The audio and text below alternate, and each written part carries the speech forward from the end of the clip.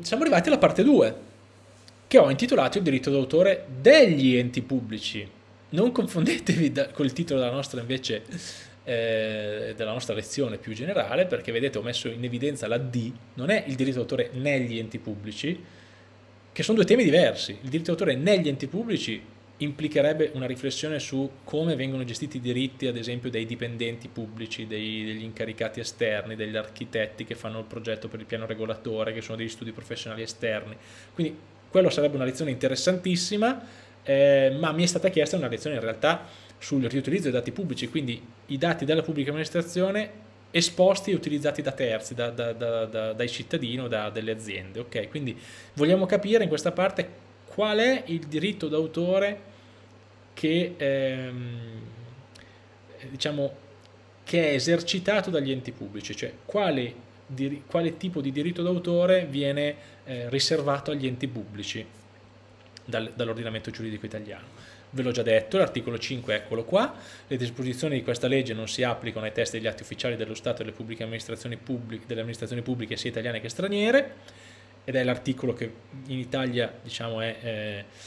eh, il riferimento principale. Attenzione al fatto che dice testi degli atti ufficiali, eh? occhio, perché va interpretato in senso restrittivo. Cioè testi, non ha detto di tutte le opere dello Stato e della pubblica amministrazione, ma dei testi. Vuol dire che se in un... Eh, gli esempi che vi ho fatto prima purtroppo non funzionano bene perché la sentenza è un, un'opera che è un testo per definizione ma se noi parliamo della, che ne so, brochure eh, realizzata dall'ufficio turismo di un comune, che ha dentro immagini, che ha dentro la grafica, ok? Quella roba lì non è solo testo, quindi bisogna stare attenti e non, è, e non cadere nell'equivoco che tutto, tutto, ciò che è prodotto eh, dallo Stato o dalla pubblica amministrazione sia automaticamente pubblico dominio, perché altrimenti allora vorrebbe dire che se fosse così anche, che ne so, tutto ciò che è prodotto dalla RAI, no? i programmi televisivi della RAI sono di pubblico dominio, invece vi, fa, vi sfido a provare a mettere su YouTube eh, l'intera puntata di, di, una fiction RAI o di, una, eh, di, un programma o anche solo del TG, no? perché scatta una, una, segnalazione di diritto d'autore, di copyright, perché la RAI ha legittimamente un copyright sulle, sulle sue opere. Quindi noi parliamo dei testi e degli atti ufficiali, la brochure del, eh, dell'ufficio turismo del comune X non è un atto ufficiale, è un atto che viene fatto per scelta strategica di promozione turistica del territorio, ma non è un atto ufficiale, l'atto ufficiale è la eh, delibera del sindaco, è il verbale del, del, del, so, del consiglio comunale o delle votazioni in eh, consiglio regionale e via dicendo, cioè gli atti ufficiali. Ehm, Abbiamo poi un altro articolo che va citato, che è l'articolo 11 sempre della stessa legge 633 del 41, che dice alle amministrazioni dello Stato, alle province e ai comuni spetta il diritto d'autore sulle opere create e pubblicate sotto il loro nome e a loro conto e spese. Lo stesso diritto spe scusate, spetta agli enti privati che non perseguono scopi di lucro salvo diverso accordo con gli autori delle opere pubblicate, nonché all'Accademia e agli altri enti pubblici culturali sulla raccolta dei loro atti e delle loro pubblicazioni. E quindi voi boh, sarete un po' disorientati e direte ma come? Prima ci ha detto di, che, che, che, che, si può, che, non c'è diritto d'autore, invece qua ci sta dicendo chiaramente che c'è un diritto d'autore, ma per quello che dicevo prima, cioè l'articolo 5 va interpretato in senso super restrittivo, cioè solo i testi degli atti ufficiali. Tutto il resto, come vedete, ha eh, diciamo, tutto il resto crea un diritto d'autore a favore dell'ente pubblico, dell'amministrazione dello Stato, le province, i comuni, via dicendo, e anche agli altri enti pubblici, culturali o meno. Ok? E infatti, nota, nota bene, le due norme sono solo apparentemente in contraddizione e la giurisprudenza e la dottrina giuridica hanno mostrato una tendenza a interpretare in modo molto restrittivo l'articolo 5, quindi rigorosamente testi e atti ufficiali.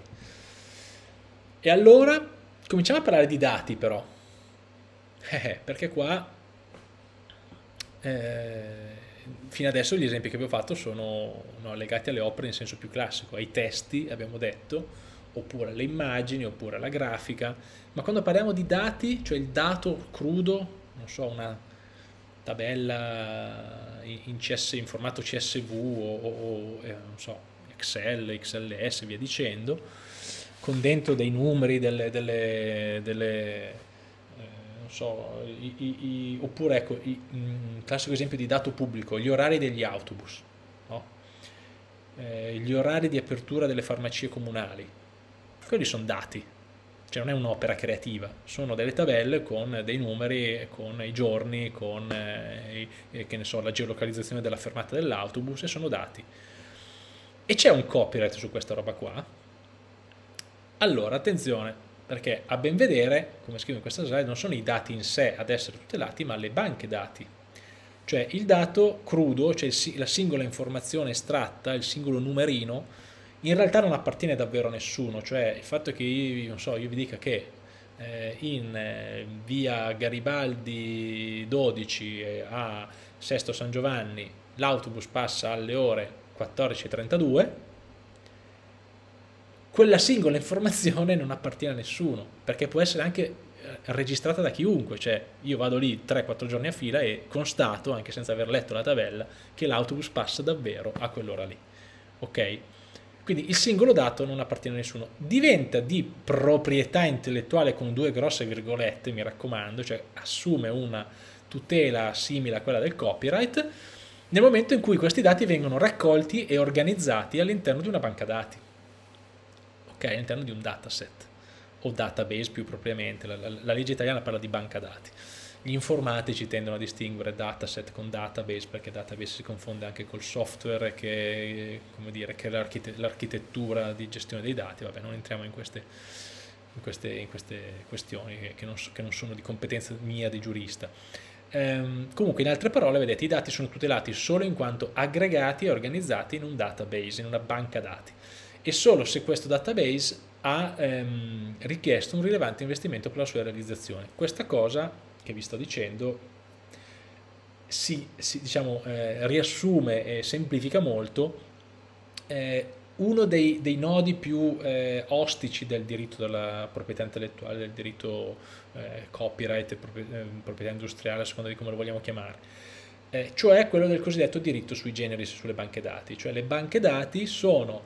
una, fra virgolette, una bestia un po' strana, che eh, viene tutelata sia con un diritto d'autore in senso più classico, sia con un diritto che l'ordinamento giuridico chiama diritto sui generis, proprio perché è un diritto talmente eh, diverso rispetto a tutti i diritti che, che, che diritti di, di, di, di, utilizzazione che prima eh, l'ordinamento conosceva, per cui è stato definito diritto sui generis sulle banche dati. Non, non è un'invenzione italiana, è una dizione, una definizione che abbiamo in tutta Europa, perché questo diritto nasce in una direttiva europea del 96 eh, che poi appunto ha portato a tutti gli stati membri dell'Unione Europea ad avere questa, questa forma di tutela. Ok, quindi qua ho semplificato molto e vi assicuro che la parte sulla tutela dei dati e su come funziona il diritto sui generis è davvero una delle parti più complicate della, della, della mia materia. In un'ora, un'ora, e mezza è impossibile riuscire a trattarla eh, in modo completo e quindi proprio su questo vi, per adesso vi chiedo di accontentarvi di questa, di questa, versione semplificata, se qualcuno vuole approfondire, perché appunto vuole fare la tesi su cose simili, c'è una mia video lezione di 4 ore, quasi 3 ore, eh, che approfondisce e spiega bene come funziona questo diritto. Però ecco, importante che voi abbiate chiaro che il diritto si crea non tanto sul singolo dato, ma sul dato in quanto organizzato, quindi in forma di banca dati, e quindi non è il l'orario della, cioè il fatto che l'autobus passa alle 14.32 in via Garibaldi, ma tutto lo so, il dataset o il database di, di tutti gli orari degli autobus dell'ATM. Quella roba lì ecco, è un database che ha richiesto anche un rilevante investimento per realizzarlo perché devi raccogliere tutte le fermate, sapere di preciso fare una misurazione di, di, di previsione dei tempi, sapere quando l'autobus passa lì, sapere se il semaforo è rosso, quanto ti può cambiare la previsione e via dicendo. Quindi questo richiede un rilevante investimento e, che, e il rilevante investimento è il eh, requisito che fa scattare l'acquisizione la, la, di questo diritto sui generis e sulle banche dati e viene dato anche agli enti pubblici, cioè questo diritto viene riconosciuto anche agli enti pubblici, cosa discutibile dal punto di vista anche filosofico ed economico perché potremmo stare qua a discutere per ore se una pubblica amministrazione fa davvero un investimento, cioè il comune di Milano o la, la regione Lombardia stanno facendo un investimento in senso appunto puramente finanziario e economico per realizzare questo database oppure, ehm, oppure quello è un loro compito istituzionale, cioè loro non possono scegliere di non farlo. Cioè io, eh, non so, comune di o eh, società municipalizzata pubblica che gestisce i mezzi di trasporto, non posso esimermi dal esporre un, un, uno stradario, scusate, un, eh, eh, una tabella con gli orari, perché sennò la gente non può prendere gli autobus e addirittura quel, quel mio lavoro è stato pagato con fondi pubblici. Quindi si può davvero parlare di investimento? E lì lascio un punto di domanda immenso che forse per voi sembra, insomma, per voi studenti eh, sembra una cosa di, di, di, semplice soluzione, ma va a toccare davvero delle questioni politiche delicate non da poco, perché se riuscissimo a dimostrare che questo investimento non c'è, cade tutto il, il discorso sui dati pubblici e diventano automaticamente liberi, però ecco, non voglio, eh, non voglio mettervi in testa cose strane, per ora consideriamo che il diritto, il, ehm, questo copyright strano che abbiamo chiamato diritto sui generis, eh, viene attribuito anche a, agli enti pubblici e quindi si pone tutto il problema del riutilizzo di questi dati da parte dei cittadini. In quali termini?